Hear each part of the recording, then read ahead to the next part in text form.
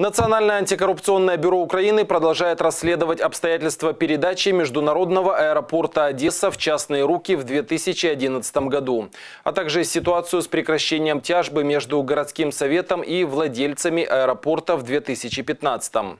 НАБУ продолжает расследовать обстоятельства, при которых Международный аэропорт Одессы оказался в частных руках. 16 декабря там прошли обыски, а также следственные действия осуществлялись в Финбанке и самой мэрии. Как пишет ряд одесских интернет-изданий, согласно материалам производства, в 2011 году тогдашний городской глава Костусев вступил в сговор с бизнесменами, реализуя преступные намерения, направленные на завладение коммунальным имуществом, нарушив требования закона Украины о государственно-частном партнерстве и без проведения конкурса инициировал и обеспечил принятие принятия соответствующего решения Одесским горсоветом от 8 июля 2011 года в качестве взноса в уставный капитал ООО горсовет внес основные средства КП «Международный аэропорт Одесса». При этом с целью уменьшения доли Одесского горсовета в созданном предприятии вышеуказанные служебные лица, то есть Алексей Костусев и его дружная команда, использовали вывод о стоимости имущества, сделанной ЧП Бюро Маркуса. Документ этот основывался лишь на балансовой стоимости имущества и на момент принятия решения уже не был действительным. В итоге убытки территориальной громады города только от недополучения дивидендов составили свыше 36 миллионов гривен. Также НАБУ работает по итогам хозяйственного спора между Горсоветом и ООО «Международный аэропорт Одесса», инициированного уже при